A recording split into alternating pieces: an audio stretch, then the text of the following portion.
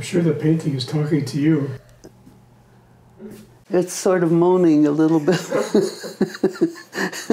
it's whining.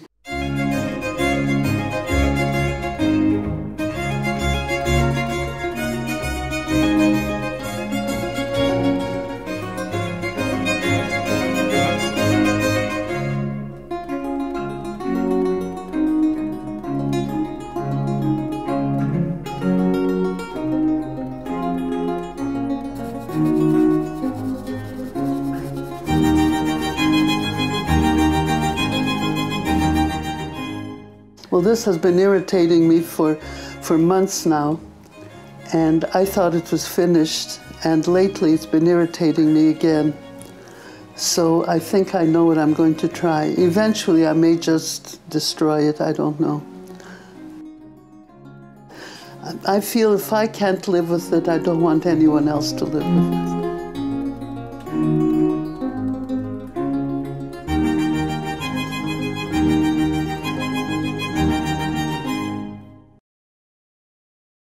I was the one who, when I was a little kid, stole, I guess, took chalk from the blackboard and drew on the sidewalks.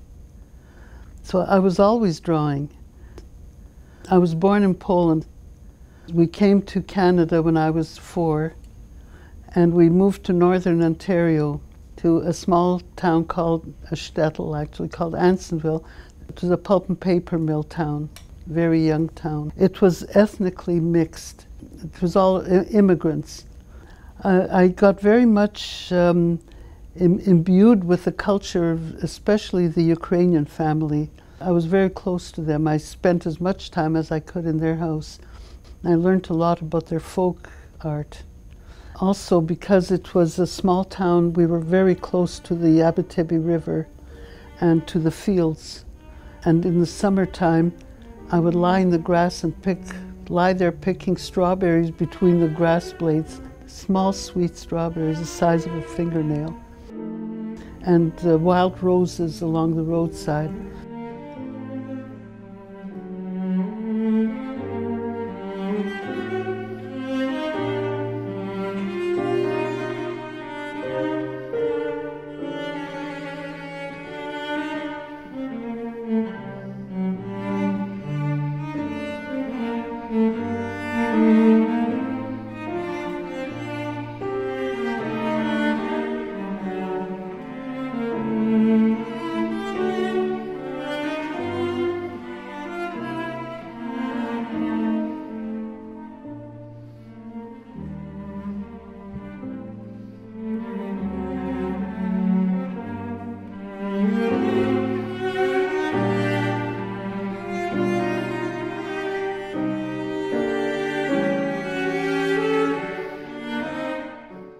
I, was very much involved with, um, with nature. And then we moved to Val-d'Or, which was a young mining town. And um, the, one of the houses we lived in was at the edge of the wilderness. And for dessert, I would go into the backyard with a cup and knock um, ripe, big, fat blueberries into my cup.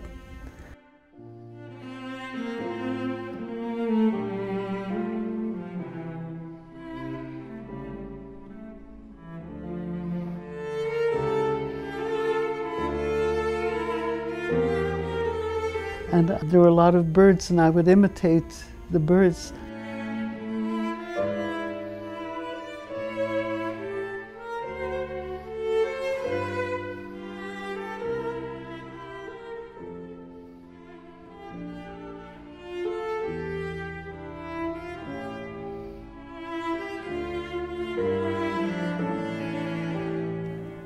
Um, this is not an unhappy painting, nor is it a happy painting. It's a lonely child. I grew up in a house during the Depression years. There was a lot of tension and anxiety. And my two older sisters were too old for me. And my younger sister was a baby.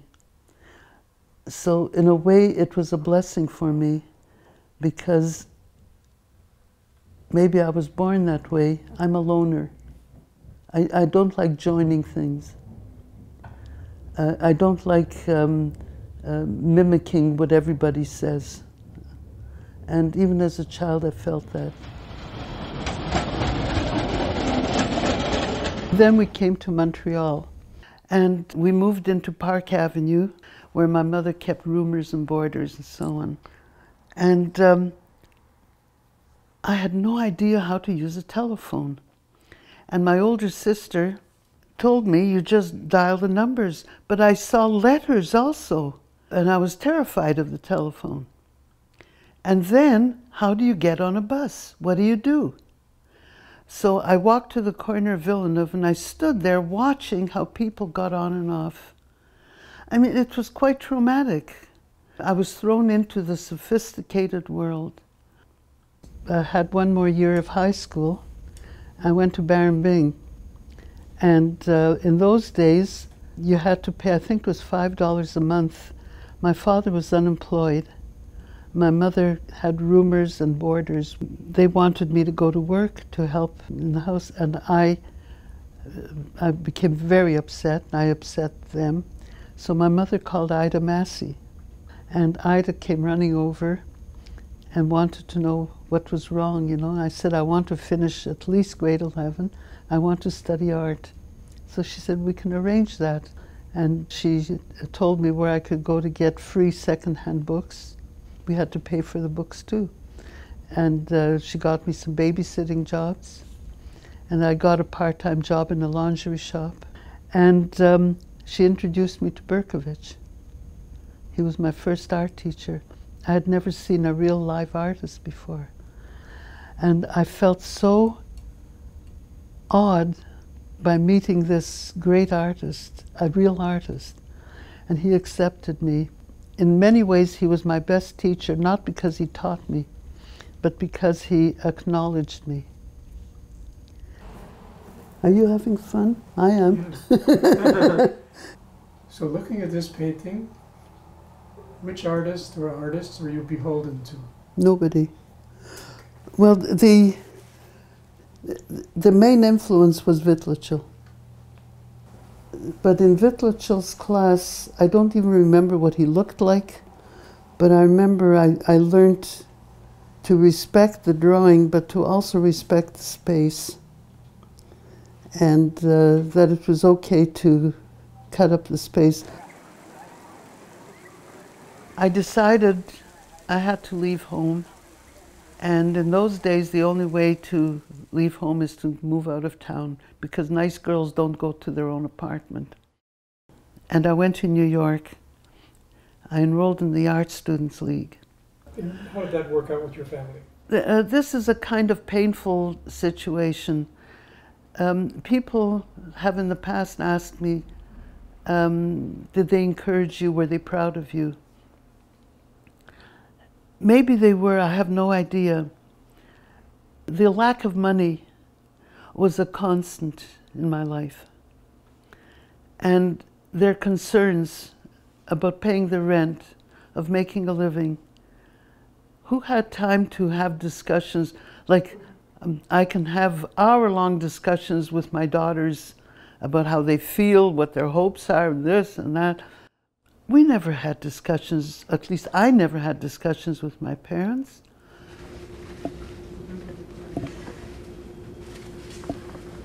I, I went to school every morning at the Art Students League, five mornings a week.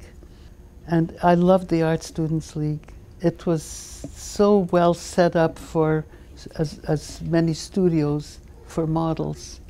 I started out uh, studying with Jon Corbino, who was a really nasty man. Like I learned from bad teachers what not to do. Um, I remember once I was stuck. I called him over and he said, What? I said, um, I'm stuck. He said, What's your problem? I said, I don't know. I can't move. So he said, When you tell me your problem, then I'll help you. And he walked away. So I was almost in tears. Another course I took, our teacher's name was Sternberg. And one day he had us sit in a circle on the floor and he asked us, um, What kind of artist do you want to be? And I started thinking, what kind do I want to be? I, I, you know, what should I say? And finally he said, you have to aim to be the very best artist that ever lived so you can at least come out to be average. And I remember that. I don't believe in creating clones. Uh, one of the reasons is I don't know who I am myself because uh, I'm still struggling. In my old age, I'm still struggling. Like, uh, how do I do it? What do I want to say with it? And it's not um, uh, when I uh, when I say I, what do I want to say, I don't mean um, naturalistic kind of thing. It, it's it's more mood and uh, it's the, the formal arrangement and so on. So uh, what I'm trying to pass on in the class is what I'm struggling with myself. Um, I hate the word teach. It's it's assuming that uh, you're on top of things, you know. Young Marlena teach too. Young. They were all young at one time. So we, We all, yeah. we all, We're- did someone say exactly. that? Oh, cute. Yeah. Can you use it? I'm a senior, and I'm working with seniors. Very cute, but very cute. and I really love this class. One of the things that is very important for me is that I'm proving that getting older doesn't mean that you have to stop growing. Yeah, she's really lost. I love the landscape. I'm challenging them, and they take up the challenge. And I, I feel that from week to week, people are growing. There's been such a stigma on aging, and people are living longer, and they're living more productive lives. and in this uh, class, they are very productive. Yeah, yeah, I have brown. I can do that now.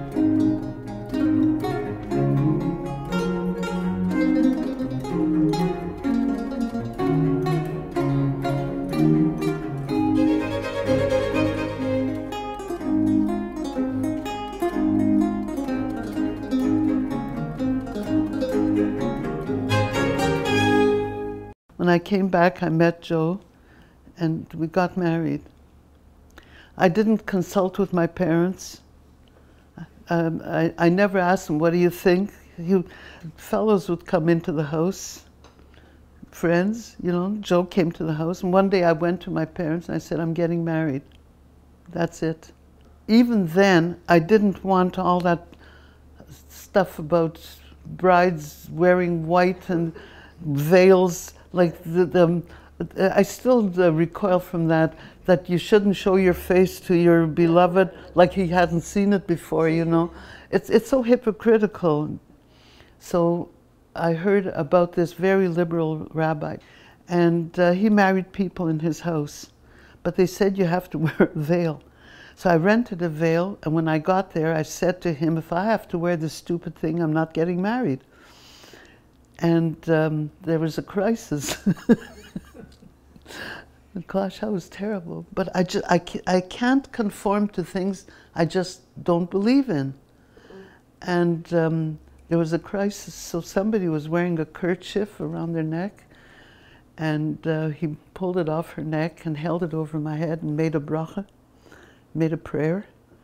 And he said, okay, you can go into the living room and I'll marry you um, without a veil.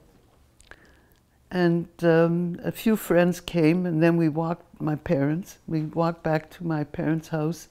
My mother made a meal, and we ate. And then we went to New York on our honeymoon. And we came back and began struggling how do we make a living?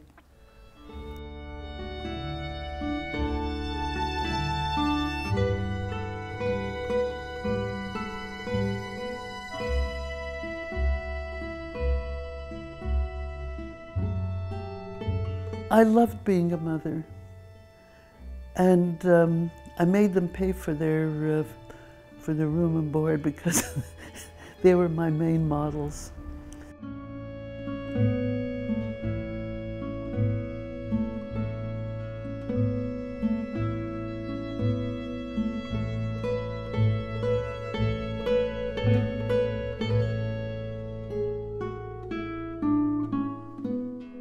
I was a stay at home mother, but I earned a living from home. I made etchings at home. There was one period where my children were ashamed to bring their friends home because I was the only mother they knew that had a printing press in the living room.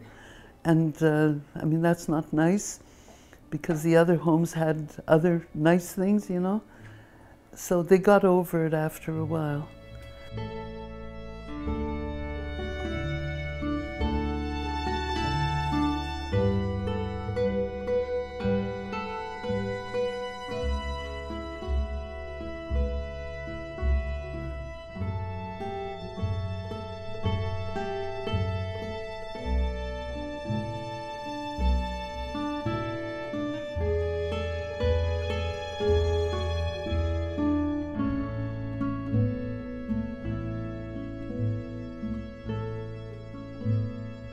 Practically everything that I, I have drawn or painted have been something familiar to me.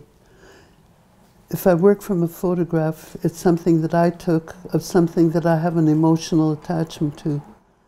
We have to take time off, we have to pause and look at everything around us. And um, when, when we're painting, and um, sometimes we look for exotic things to paint, everything around us is wonderful if you see it from the, this point of view that it, it's all a mystery. Where, how was it planned? Was it planned? There seem, this book is called The Power of Limits. That uh, life has a limit, and that's where the power is. That's where you go to infinity.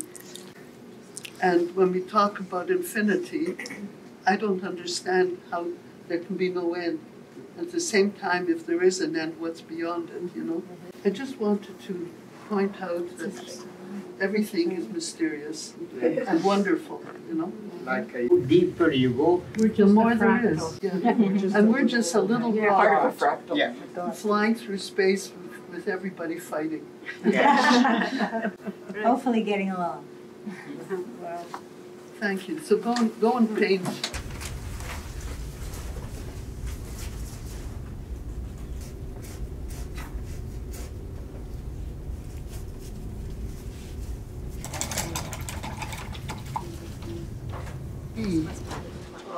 Uh, I like what you did here. There it is. I've tried to create an atmosphere of non competitiveness uh, where everybody can develop their own style and not be a clone of me or of each other.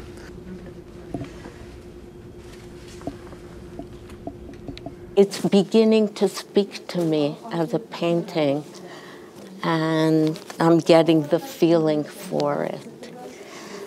Uh, that's it. The one thing that I've been learning from Rita um, is that one should look at uh, shapes rather than the object itself.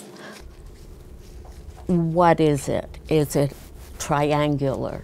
Is it continuous on the same line, etc.? That's been a big help for me. But uh, we learn as we go. not exactly a collage, but I'm putting pieces together for a much bigger painting. Little studies. so, and they're all to do with the farm when I was a child, my grandfather's farm. And this, I had a favorite bull. and the bull used to follow me everywhere. This and the berries, the berry. There's going to be berries all over it because the um, my grandfather grew them, and I picked them. See, like I do, this lady sitting on something. I can see on her eyes, she's her mind somewhere dreaming about something. So everything there is a history which I live on that time. And and also remind me, I had a nice memory. I was younger, I was I love to see women the way they dressed, You know, today, not the same thing. It's changed. That's a different generation as well.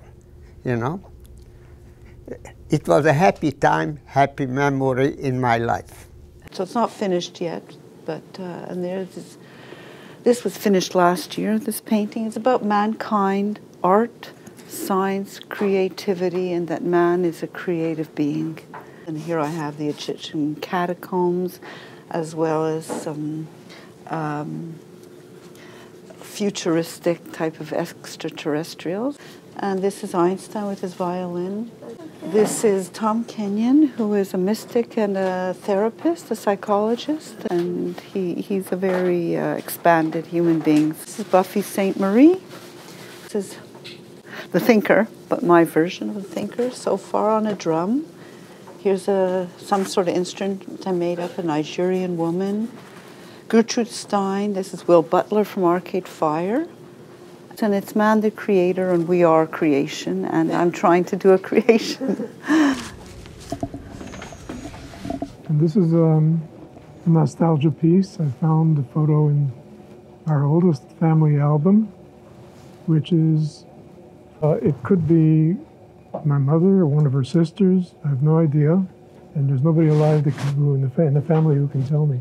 So the pose, the pose sort of attracted me beautiful chair, the way the child is sitting. So I liked it.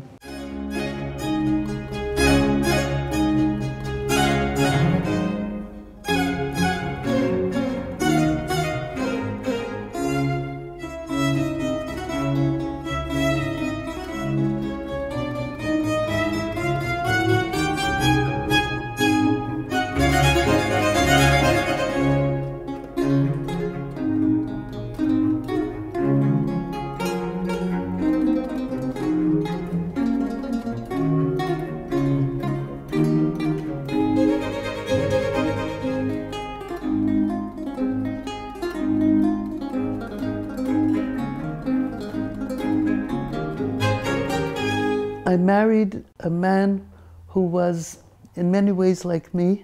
When I was in New York and um, here in Montreal, there were well-to-do young men who were after me, but I, I didn't connect with them. I needed somebody as neurotic as me. He was, a, as you can see, he was a good artist, but he had to make a living. So he took jobs as doing commercial art, as it was called then. And he was always torn between wanting to paint and wanting, needing to make a living. And whichever he did, he always felt guilty.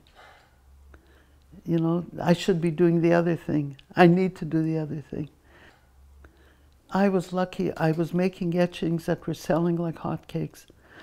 Um, an agent from Toronto approached me and bought my etchings wholesale and, and distributed them right across Canada. Uh, Joe was always painting at home too.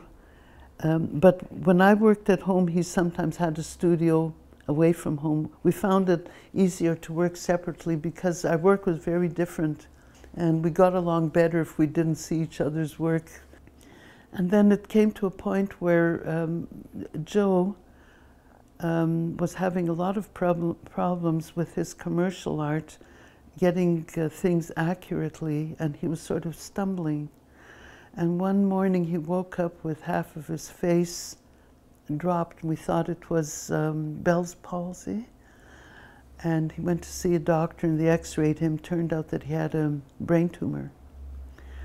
And they operated, and the, the doctor told us that it would grow back it was in a very precarious um, uh, part of his brain and um, that he probably would not survive. This created a lot of problems and it gave him permission to stay home and paint, finally. And he did um, uh, some of his, I don't know if they were his best paintings, but he made hundreds of miniature watercolors. It was um, easier for him then. He finally could stay home without guilt. When he was diagnosed, I wanted to know what the brain was all about, and I began reading um, everything I could to try to understand what was happening. I, I somehow didn't know how to get some students to start a painting and finish it. There were some of them who just um, had a hard time starting.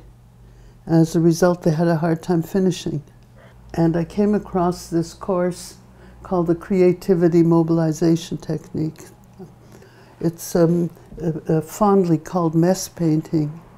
It's a, a very intense, intensive course um, where um, the participants do 15 two minute paintings a day, four days a week for six weeks on newspaper, newsprint. So it's useless. I had uh, blocked writers, I had dropout students. Um, I had some remarkable results. I have found in my experiences that um, everything that happens in life has its opposite. And um, losing my husband was um, a very traumatic and tragic um, time in my life. Coming out of it, I, I learned something um, in, in trying to understand what he was afflicted with. I learned something that I was able to apply to myself and to others. So uh, for every loss, there's a gain, and for every gain, there's a loss. You know, that's that, as they say, that's life.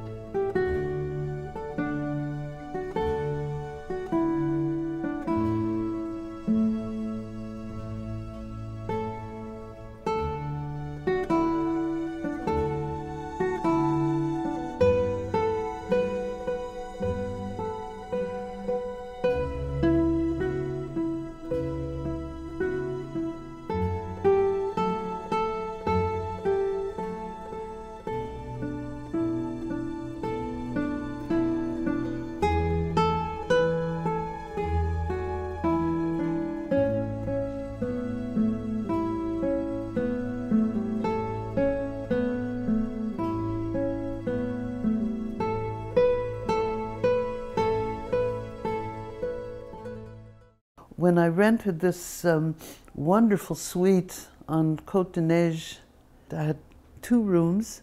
I could paint in one.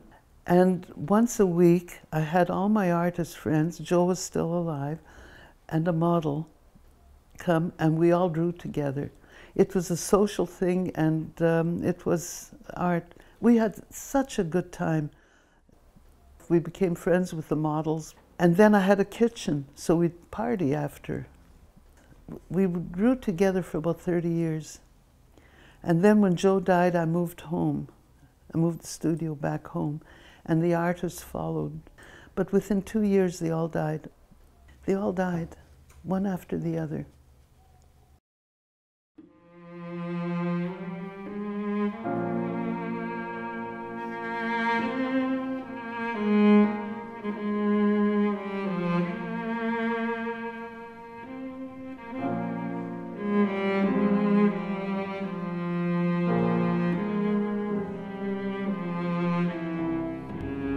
In May of 1995, I had an unyielding urge to go back to Poland, the country of my birth. I could not explain this feeling, but made immediate arrangements to go there and to go alone, except that I would have two personal guides, one to accompany me to Auschwitz Birkenau and the other to my hometown, Grajewo, in northeastern Poland. My first stop was in Krakow, where my guide Derek met me and drove me immediately to the camps. As we were entering the town, I was aware of a field of brilliant red poppies on my right. It hit me then and there that this beautiful landscape is fertilized by human ashes.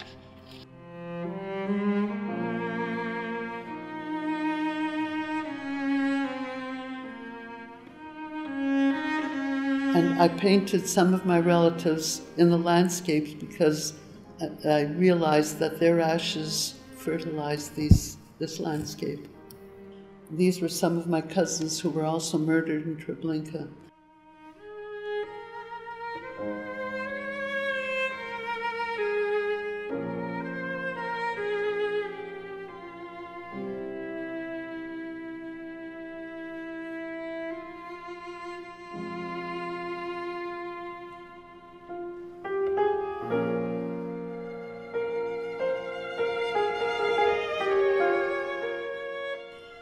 This is, I did from a photograph of me and my grandmother, the last picture taken before I left Poland.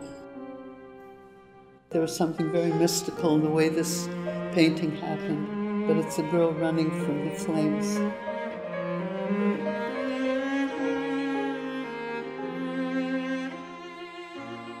I spent a few days in Krakow where we visited the Remuh Cemetery. A memorial wall stands there made of broken remnants of Jewish tombstones which came from the desecrated cemeteries. And this, um, I, I used some of the stones in that wall in the Remuh Cemetery, and I included part of the stone that my uncle had made for his mother. And underneath, I painted stripes from the Taliesim that I saw. This is my cousin. Behind our tombstones, fragments of stones with some of our relatives painted on the stones.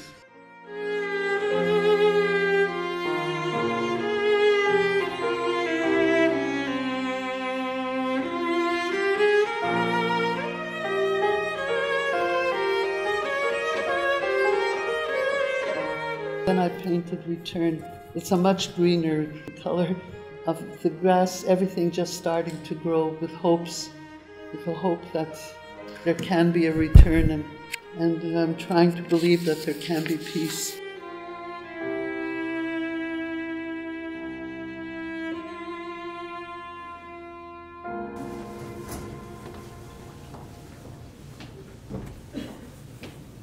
And in the end, these paintings uh, found a place of honor at the Jewish General Hospital.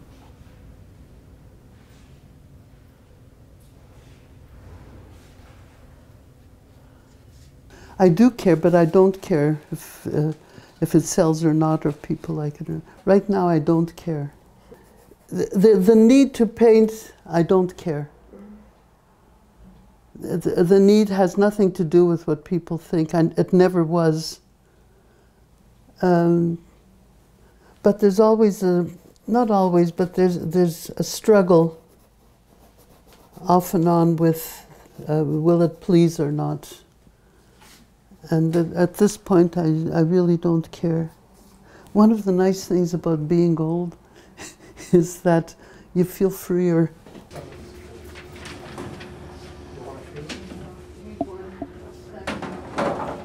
I've always wanted to paint, but I didn't think I could.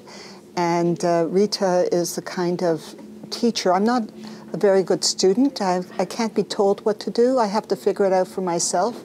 And Rita is that kind of teacher who allows you to figure things out. As a matter of fact, she encourages you to, to explore and to find out how to do things. And um, as a result, I have done some paintings that, even today when I look at them, I, I have no idea how they happened. They just, they just blow me away that I did them. She, she's, she's peaceful and quiet and insightful and she, her gentleness is just beyond and above, and that's why we all love her so much. I started it, washed it over, started it again, and uh, she walked by, smiled, and said, Keep painting. and that was it.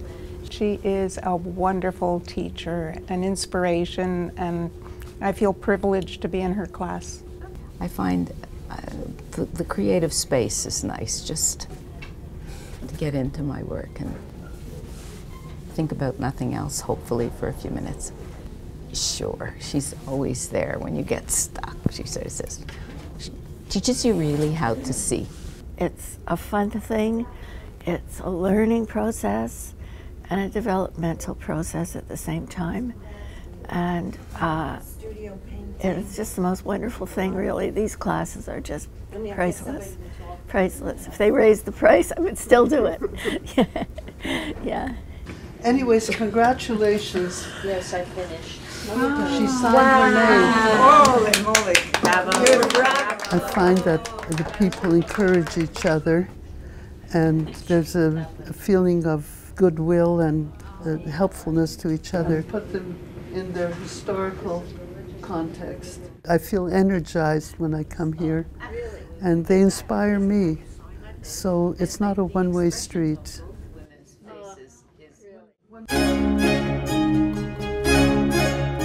Against the hand, I did whatever I had to do.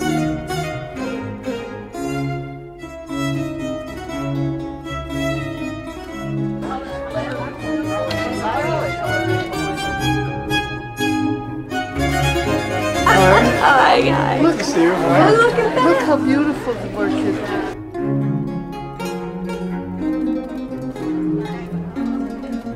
Like we are like a family.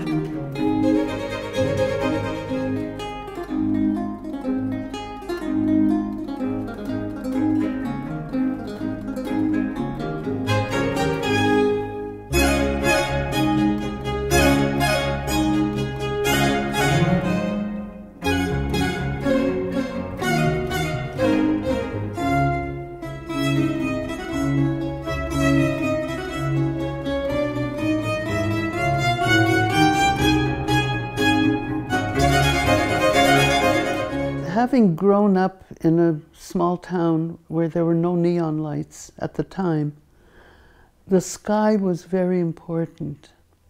And I remember at night in the summertime, um, I and friends used to sit on our doorsteps and look up at the sky, the Milky Way, and wonder at the, at the wonder of it marvel at it, like what what is it? Where is it? How? You know?